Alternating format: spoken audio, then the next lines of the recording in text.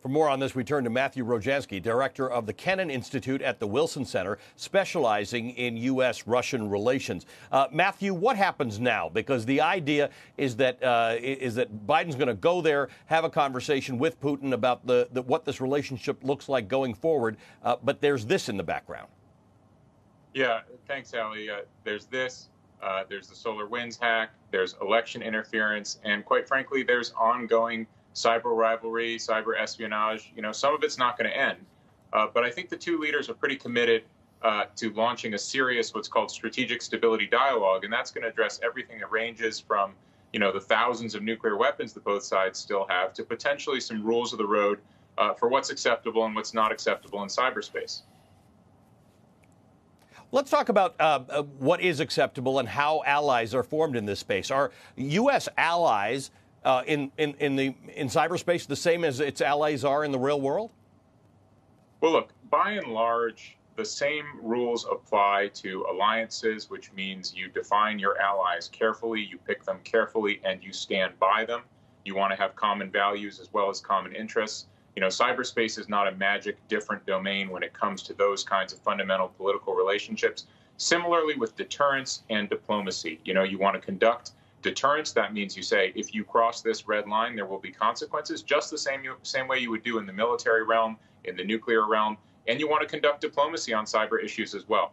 Um, there are a couple of key differences. One is that cyber espionage is going to continue just as espionage continues in the bricks and mortar world. In other words, espionage is something that's designed to gain an edge over a rival. And that's something that all countries that have the capability are going to keep doing. You can't negotiate to end spying. Uh, the second big difference is the role of private actors. Uh, remember that you have a lot of private companies, both on the offensive side and the defensive side, and you have various kinds of gray groups occupying spaces that sometimes are close to governments, but sometimes are not that close to governments. And they're always going to be able to interfere in the space as well. But that's the difference between the brick and mortar world, right? That's the the, the uh, it's it's easier to tell who's who's who on the ground than it is in cyberspace. So these gray entities, these maybe quasi governmental uh, organizations, how do they fit into treaties and deals? When Biden's there talking to Putin, how does he address this stuff if the Russians say it wasn't us? Yeah, President Biden actually made that point when it came to the Colonial Pipeline ransomware attack, which, as best as we understood, was in fact a private actor. It was a malign criminal private actor that sells its services to bad folks uh, however, it likely was based, or at least partially based, on Russian territory. And so President Biden's reaction to that was to say, look, we don't hold the Russian government directly responsible for this, but the Russian government, like all government governments, has an obligation to be responsible for the for the bad actions of people operating out of its infrastructure and under its jurisdiction. So I think that should exactly be a part of this uh, strategic stability dialogue that uh, we expect to begin uh, after the summit in June.